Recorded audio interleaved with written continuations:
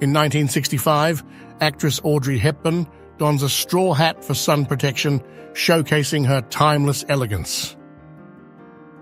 Voicing dissent in Vietnam, a U.S. Marine's poignant statement on his commander-in-chief, Lyndon Baines Johnson, in 1967.